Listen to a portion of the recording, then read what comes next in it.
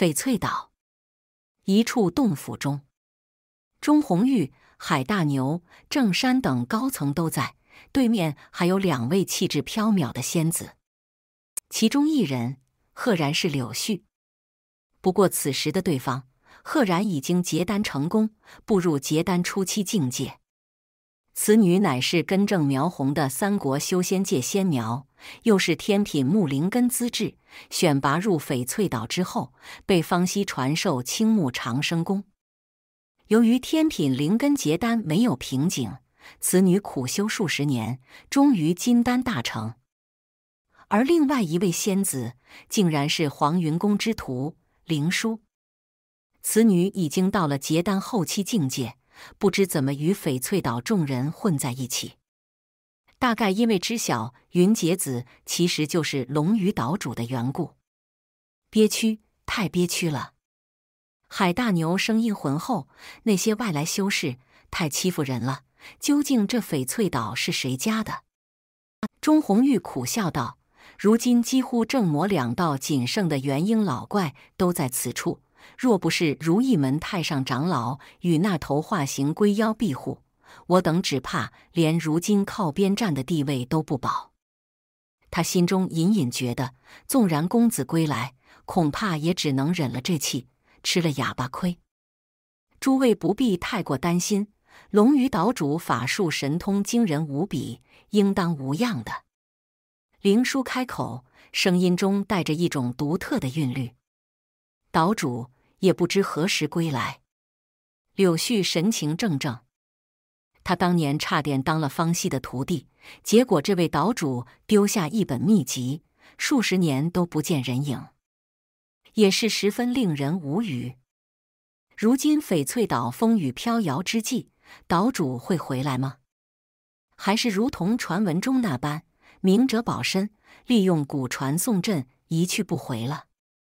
就在这时，外界一阵惊雷般的炸响传来，恐怖的元婴级斗法波动，令这些结丹修士神情大变，飞出洞府。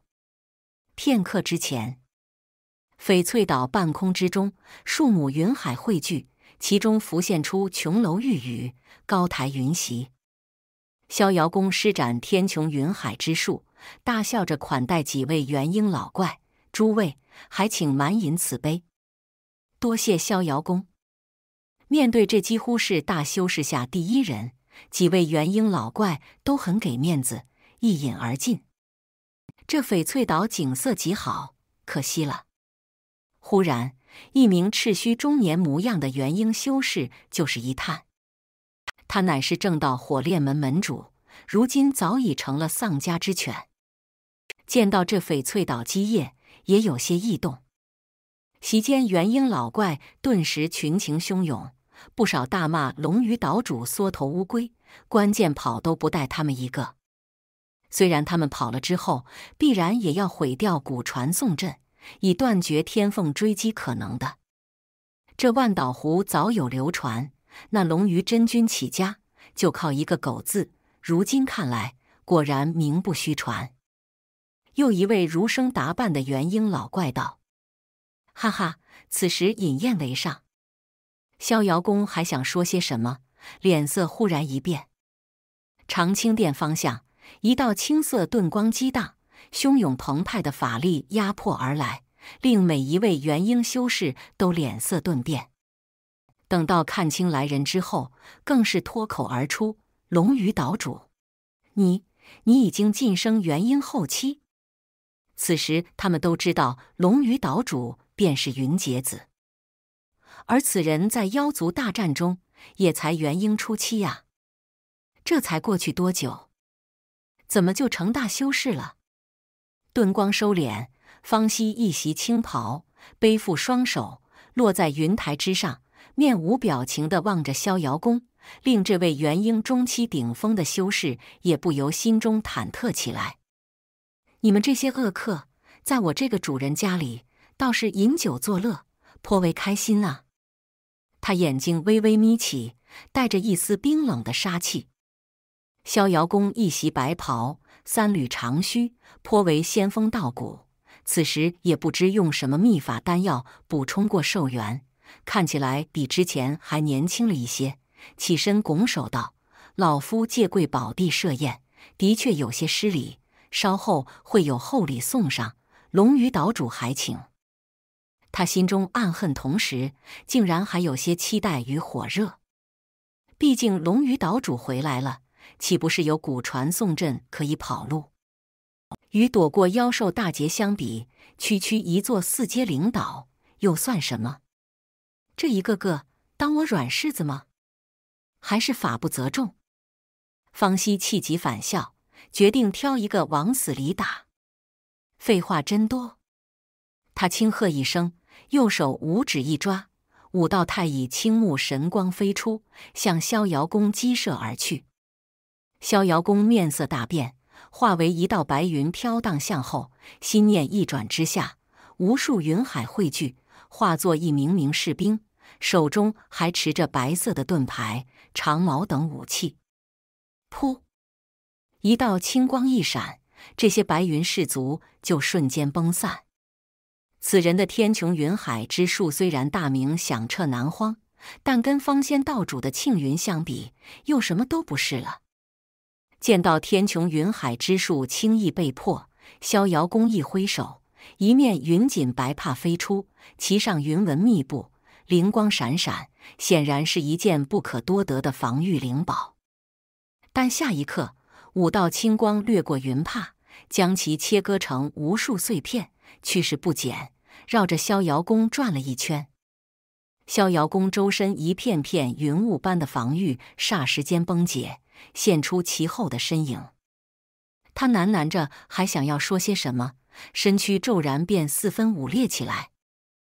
无数尸体碎块当中，有白光一闪，一只通体洁白的元婴施展云遁之术，化为一道白烟扶摇而上，遁速相当惊人。但下一瞬，一只灰白色的小塔便落在元婴头顶，一圈光辉落下。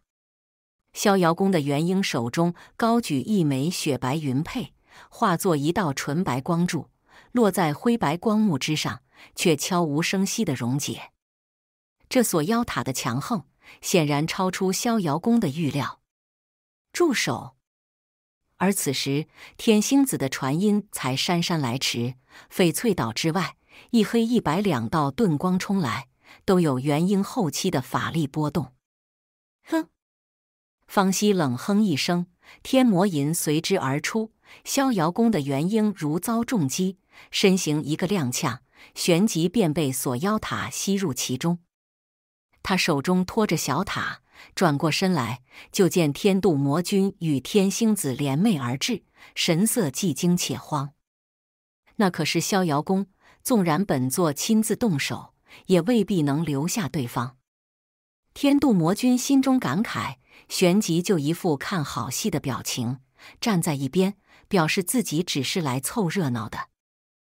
而刚刚喊出助手的天星子也有些尴尬，他怎么也想象不到龙鱼岛主竟然能突破元婴后期，而逍遥宫在对方手下竟然连两三招都接不住。此时，那儒生与火炼门的元婴修士简直恨不得扇自己一个耳光。不知龙鱼岛主的神识究竟听了多少？嗖嗖！这时，仅剩的一些元婴老怪遁光也赶了过来。方熙甚至看到了如意门南宫里，这位千娇百媚的女元婴给了他一个大大的白眼，显然是不忿被欺瞒如此之久。他摸了摸脸庞，决定还是不理会为妙。这时，天星子也知晓了情况。对于方熙更加惊惧，他隐约知晓对方乃青帝山传人之事，更何况此时已经晋升元婴后期，轻易拿下逍遥宫，自己万万不是对手。天星子先行了一礼：“龙鱼岛主如今归来，力挽狂澜者非你莫属，老朽不才，请龙鱼岛主就任正魔两道总盟主之位，带领我等共抗妖族。”天度魔君略显诧异的瞥了一眼天星子，不过旋即心中冷笑，开口道：“龙鱼岛主为正魔两道总盟主，本人也是非常支持的。这一幕反转，令围观的一干元婴老怪几乎傻了眼。不过想到龙鱼岛主刚刚辣手灭掉逍遥宫，他们纵然有心反对，也不敢说出口。正魔总盟主方熙听了，脸上却是露出一丝微笑。也罢，本人也就担任了吧。他搜魂了解如今情况之后，心中大定，隐隐有一个大计划。既然天星子如此配合，不如成全他。拜见总盟主。天星子当即拜下，其余元婴老怪面面相觑，只能跟着行礼。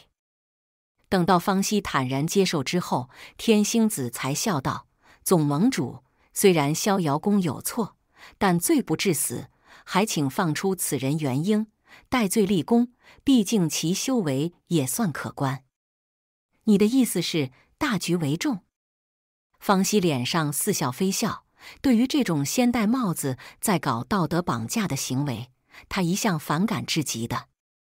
天星子眼眸一亮，不错，正是大局为重。嘿嘿，若本座答应了，那接下来为了抗妖大局，是不是还得捐出领导，供各位休养生息呀？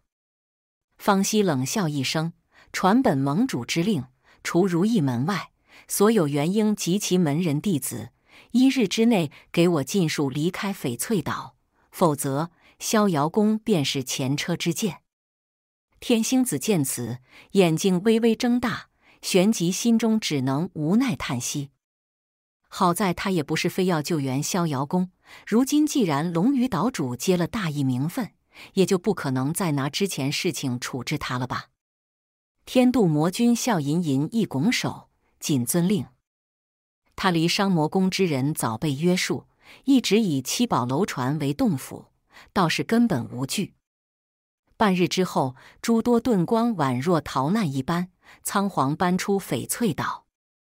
长青殿内，方熙负手而立，一位位结丹修士进入殿中。